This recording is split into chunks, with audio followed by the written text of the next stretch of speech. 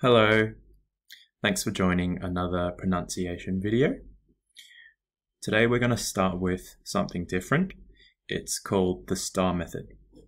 The STAR method, what is it? S stands for situation, T stands for task, A stands for action, and R stands for result. What's, what's the STAR method used for? The STAR method is a structure for you to effectively answer uh, interview questions.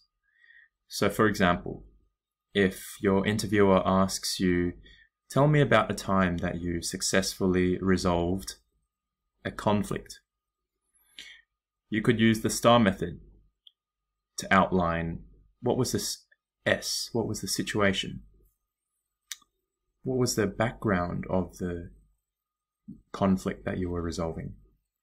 T, task. What needed to be achieved? And what was the importance of it? A, action. What action did you actually take? And R, what was the result? What did it achieve? The STAR method is a very effective framework for you to answer interview questions. Okay, now we're going to move to our reading passage. This one is called Hide and Seek. First paragraph. In the wild, it often comes down to predator and prey, the hunter and the hunted. As you can imagine, most organisms want to stay alive. They have developed ways of adapting to severe habitats and hiding or escaping from those who would like to eat them. So how do they do it?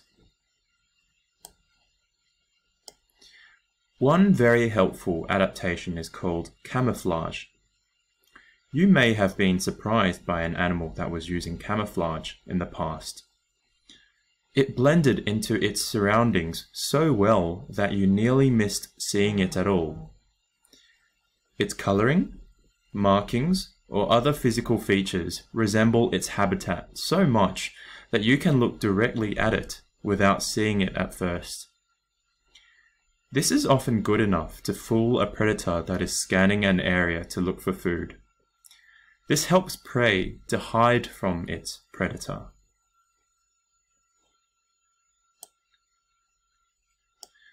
But did you know that it often works the other way around too?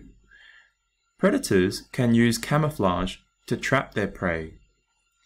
If a predator wants to eat a certain animal, and that animal cannot see it lying in wait, it can pounce on its prey unexpectedly, devouring it before it even knows what is happening.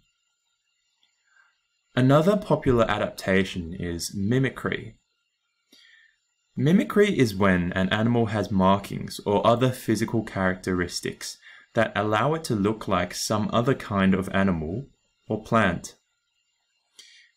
If it can make its predators believe that it is something that preys on them, or would at least be difficult to pet or painful to catch, its predator will often go off in search of an easier target. Okay, now going on to the new words and phrases. I will say the word and then I will give an example sentence. Predator. Predator. The lion is a predator to other animals because it eats them. Organisms. Organisms. The ocean has many organisms of different shapes and sizes. Severe. Severe. There was a severe thunderstorm over the weekend. Habitats. Habitats.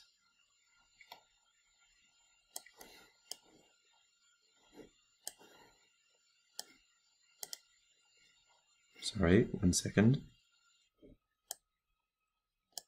Habitats. Humans have many habitats. The house, the office, the hospital, or the sports field. Camouflage. Camouflage. John's camouflage made him look like a tree. Resemble. Resemble. It is common for the daughter to resemble the mother. Pounce. Pounce. My son likes to pounce on me when I go home. devouring, devouring. After returning home, we found John devouring his dinner. Mimicry, mimicry. The comedian's mimicry of the American president was funny. Thank you for tuning into this week's pronunciation video. We'll see you next time.